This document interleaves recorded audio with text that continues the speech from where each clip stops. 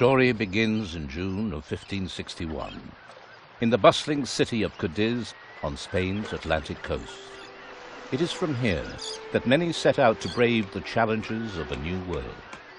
For it is said that beyond the Atlantic, fame and fortune awaits the fearless and the brave. It is this hope which one day leads a young man to embark on a long journey after a number of hapless years. But hope has the most powerful enemy, fate. And so it comes to pass that the ship is beset by a terrible storm, but a few days' journey from the New World. The storm damages the ship severely, and a huge wave sweeps the young man overboard. The next morning, he awakes, senses befuddled, and all hope gone.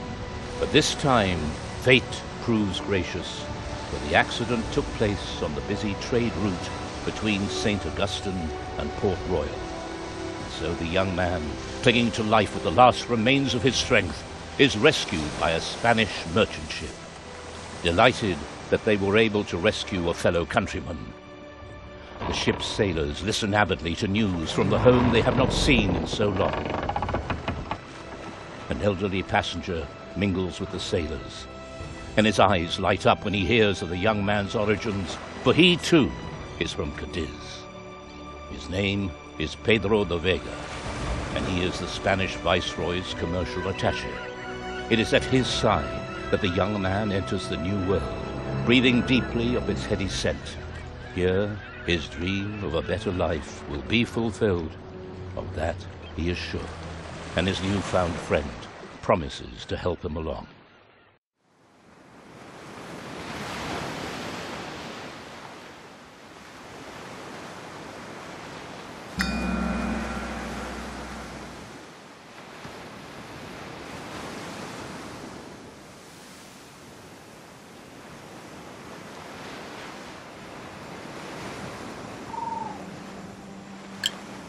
Welcome to Port Royal. This is your hometown for now, in which you already even own a warehouse. You can adjust the level of magnification and the camera angle at will. The city view shows all of the buildings in the city. These include action buildings, homes, and businesses. At first, the action buildings are most important for you. They are always in the center of town. You can enter them to perform certain actions, such as here in the dock, the most important building. This is where all of the trading for the entire city is done. If you have a convoy in port, you can select it directly. This displays data on the convoy on the right. Note, convoys consist of one or more ships and have a captain. More on that later. To send your convoy out, you must first leave town and go to the nautical chart. Here all the cities you know are shown. You can adjust the area shown and zoom level just the same as in the city. Select a destination city for your convoy, and then select Send Convoy Here. Now you can see which route your convoy will take. If you have nothing else to do, you can also speed up time. Once your convoy has arrived in another city, you can then trade there. You can either enter the city or trade directly between the city and your selected convoy. In the trading window, the goods on board your convoy are displayed on the right. In order to sell them, select the goods and move the slider towards the city. Then confirm the trade. I will explain the significance of the prices and quantities displayed later.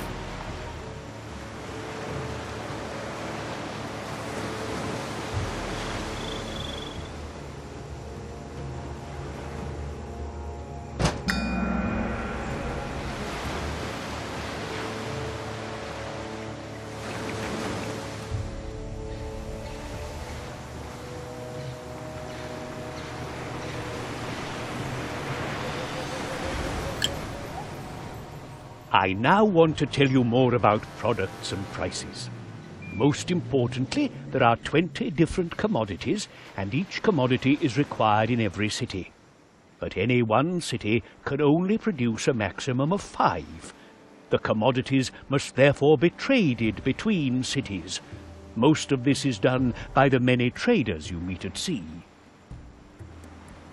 When a city produces a commodity, they usually also end up with surpluses, which you can buy cheap. If you then sell them somewhere where that same commodity is scarce, you will receive a much higher price. In the beginning, these trading profits will be your main source of income. In the trading window, those commodities which can be produced in the city are marked. The current stock of the commodities will also be displayed. Remember, only buy when two or more bars are showing, and only sell at less than two bars. For example, Port-au-Prince produces sugar, and therefore often has a large amount left over for export. If you buy this product now, the displayed price per barrel may change, because the more goods you buy, the scarcer that commodity is in the city. This can lead to the price rising sharply, because it is always subject to the law of supply and demand. So always watch both the price and the stock of any given commodity. Although Port Royal produces no sugar, it does need some for its citizens and rum production, and indeed the price of sugar is actually higher than the average price paid. Of course, the law of supply and demand also applies when selling a product. Therefore, the price of a given commodity may drop when selling, so always watch both the selling price and the stock of the commodity traded before you confirm the trade. Incidentally, if a city is lacking too many commodities, its citizens will become dissatisfied. You can view the current satisfaction in the city information. It is also influenced by events. This is also where your popularity in the city is displayed. Selling scarce goods helps to raise it.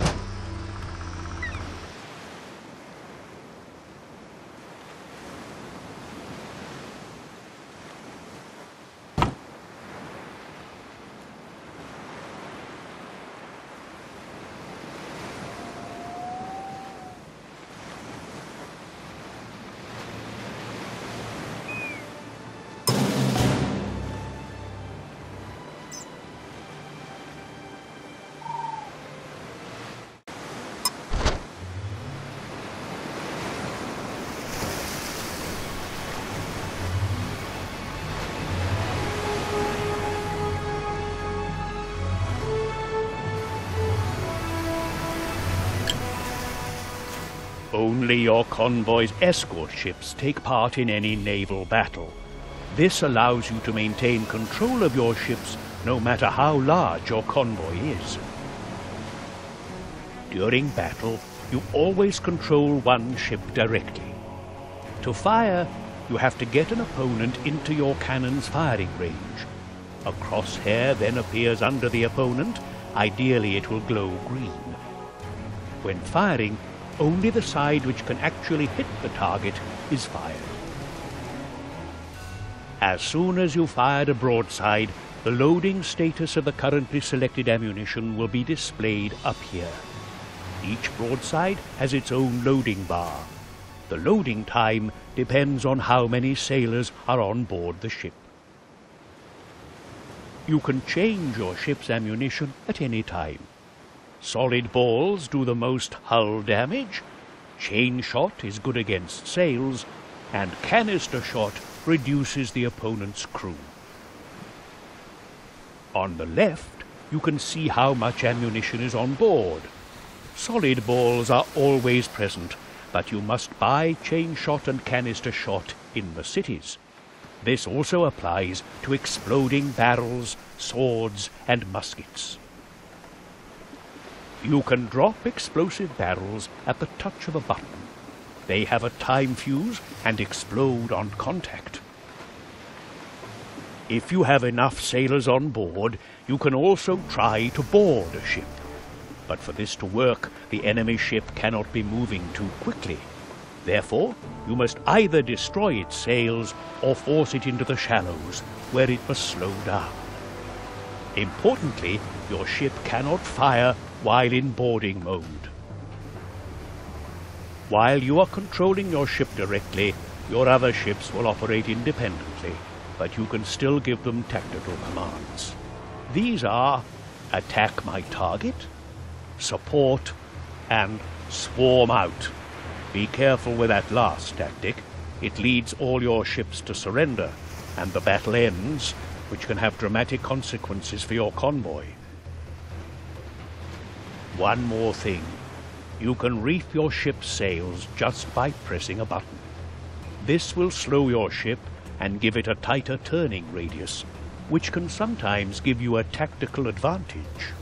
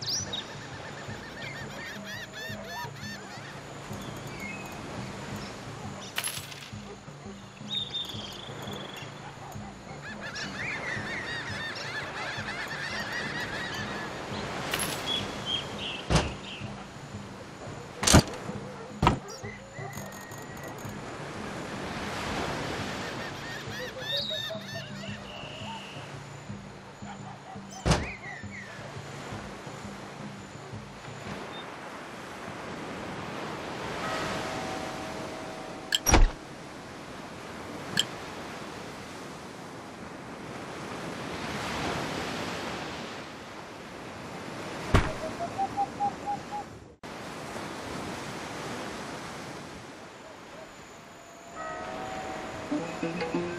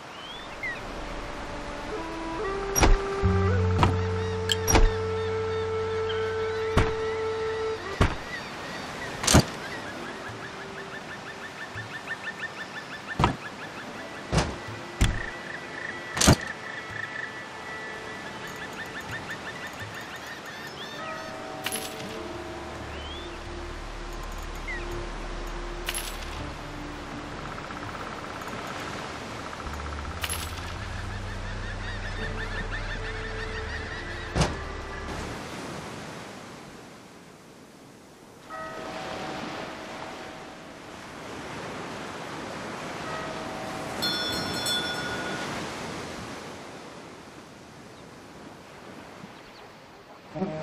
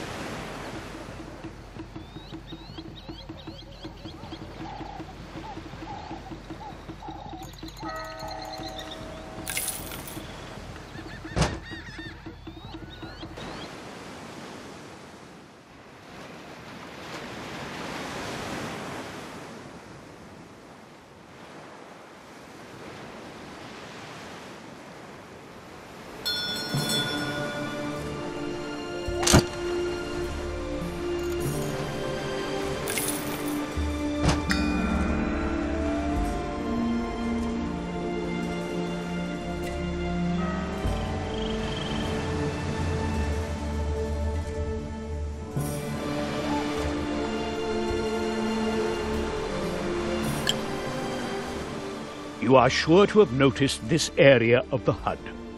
Your current cash balance will be displayed here. Above that is your current rank and your progress towards advancement to the next rank. Initially, progress is determined solely by your assets, whereby those assets consist not only of your money, but also your buildings, ships, and goods. As your wealth increases, so does the progress bar.